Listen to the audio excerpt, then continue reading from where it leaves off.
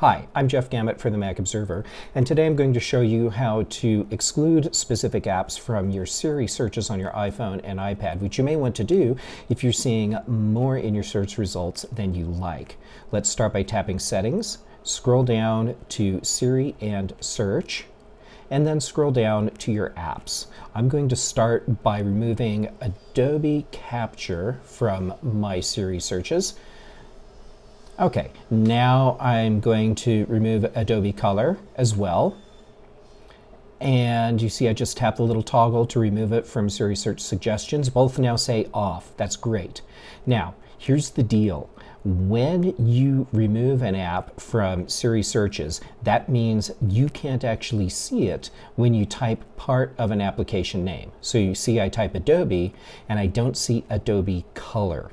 To see Adobe Color, I'm going to have to type the full application name. And there you go.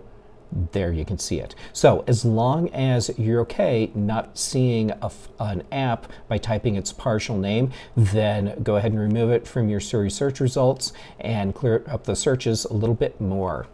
I'm Jeff Gamet for the Mac Observer. Thanks for watching.